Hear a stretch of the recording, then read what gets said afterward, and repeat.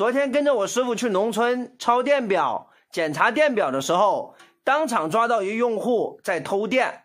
他的手法很高明，用一个口罩就能让这个电表转得很慢，甚至是不转。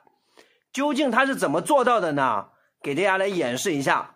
各位电工同行，如果以后去查偷电漏电，可以借鉴这个方法，一下子就能把它给抓住。他用一个口罩。把这个口罩剪开，这个口罩里面都有一个金属条，就是这个东西，看到没？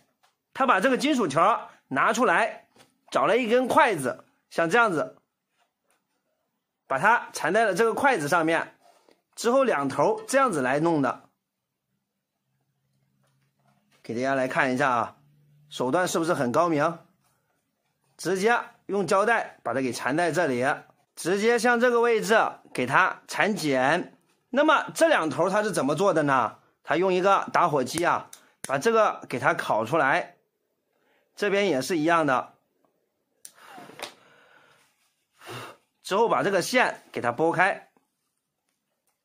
这个口罩里面都是一个金属条，对吧？它就用这个东西让这个电表转的很慢，甚至是不转呢。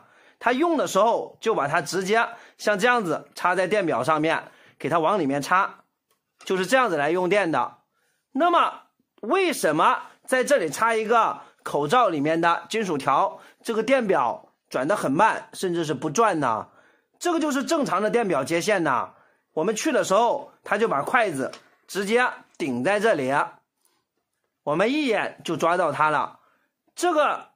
是进来的火线，这个是出来的火线，这个是零线。我们都知道，电表的内部有电流互感器，它只计量火线，不计量零线。当时看到它这样子，估计是他晚上用电的时候，白天忘了把这个东西拔出来。这个东西他用的时候插进去，不用的时候拔出来，估计他白天忘了。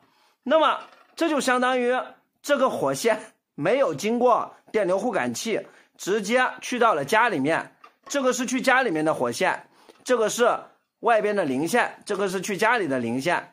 那么他用的时候就把它给插上去，不用的时候就把它给拔下来，这样子来偷电的。如果不是他忘记了，估计啊十几年也不会有人发现，因为用的时候插进去，不用的时候拔出来，真的是很难发现的。朋友们千万不要这样子来干，这是偷电。